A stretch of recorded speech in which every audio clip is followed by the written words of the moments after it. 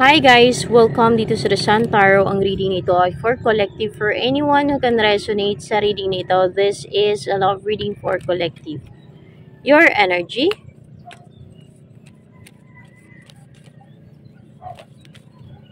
Oops. Oops, I said it again. Ano ba to? The star. Uy! Meron kang uh, pinagpipilian guys or parang meron kang pinagdidesisyonan. Mm. and nagiging bitter ka no? yun yung energy mo dito pero hopeful ka and positive ka no? sa outcome.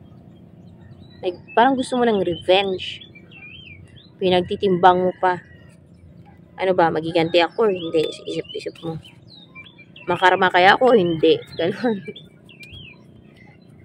Magtagumpay kaya ako sa pagiganti ko, hindi. Isip-isip mo ganun kay. Pero positive ka. So, let's see. Tungkol saan ba to? Ah, na magkaroon ng victory sa muling pagbabalik mo. Magtagumpay ka. Sa muling pagbabalik mo. Ano yan? Sukob. So, let's see.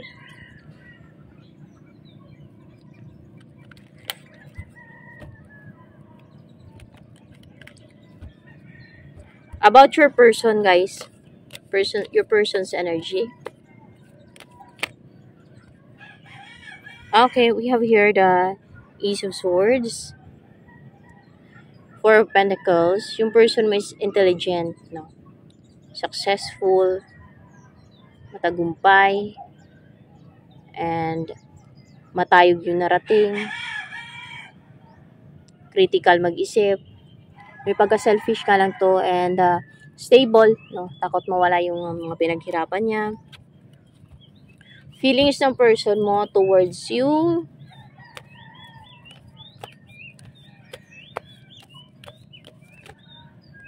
Okay. We have here the King of Cups. In love yung person mo sa'yo eh. Pero may bitterness ka, no? Hmm. Oh, gusto ko niyang suyuin guys eh. Emotional pa nga yung person mo sa'yo eh. Gusto niya mag-offer ng cup of love. Na iparamdam sa'yo na mahal ka niya. Kasi mahal ka naman talaga niya eh. Emotional pa nga siya sa'yo. Deep yung love niya sa'yo. Kung ano yung sasabihin niya sa'yo, ay totoo yun kasi yun yung nararamdaman niya. Sa mga makaresonate kayo sa uh, your feelings towards your person. Ay, okay. Gusto mo pala ng happy family with your person. You will be your, with your person. In love ka din sa person mo. Ayun o. Oh.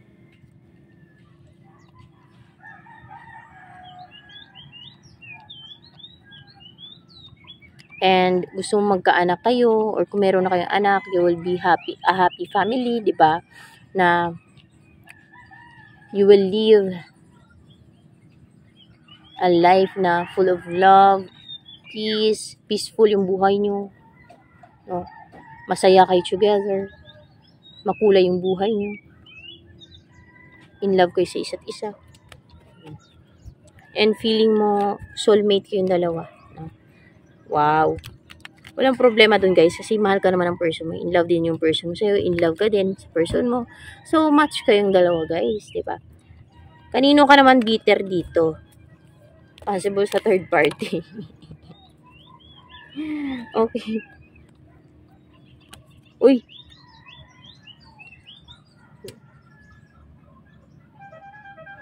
Okay, sa person mo.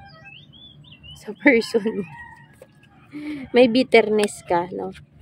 Bakit? In love ko sa kanya, pero may bitterness.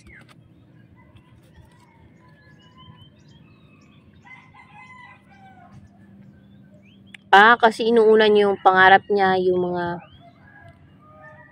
possible, yung mga trabaho niya. Baka natatrabaho to as army or no? Mga obligations niya sa work niya or masyadong busy o yung fame niya, parang ganon. Pero mahal ka naman ng person, may. No? Possible outcome sa inyong dalawa ng person mo.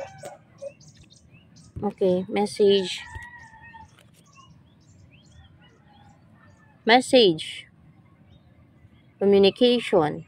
Yun yung mga next na mangyari. Communication sa inyong dalawa. So, ito na lamang guys for collective reading sa ngayon. So, mga baguhan po dito sa aking channel, please to subscribe at huwag po ninyong kalimutang i-click ang bell button nang sa ganun ma-notify kayo sa masusunod na videos na upload ko at paki-like naman po at paki-comment na din sa ating comment section box.